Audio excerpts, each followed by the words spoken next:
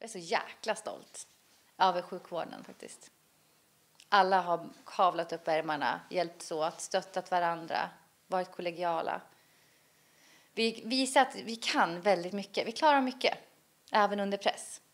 Med sitt sommarprat i P1 blev specialistsjuksköterskan Eveline Jakobsson känd av svenska folket när hon berättade om arbetet på Mälarsjukhusets intensivvårdsavdelning under coronapandemin. Herregud. Ah, så känns det. Nej men gud, det är så fint. Det är, tänk att de tog sig tid att lyssna på mig. Det är helt fantastiskt. Stort. Väldigt stort. Över en och en halv miljon människor har redan lyssnat på programmet och reaktionerna hon fått efter radiosuccén kunde hon bara drömma om. Det har ju varit liksom ett stort tack från att, till, egentligen från det liksom, att personer känner att så här, men tack för att du förklarade. Så att jag har ju inte lyckats, säger de då, förklara för mina närstående vad det är jag jobbar med. Och nu så förstår de på ett annat sätt. Tack från liksom personer ute i samhället som säger att nu förstår vi.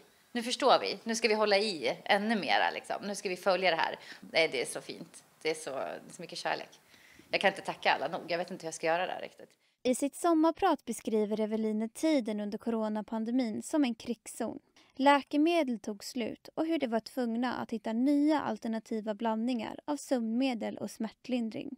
Och hur hon höll döende patienter i handen när deras anhöriga inte kunde vara på plats. Snälla, för Guds skull.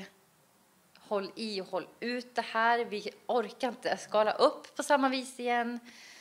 För allas skull, för de som väntar på sina operationer, för hela sjukvården, samhället. Liksom.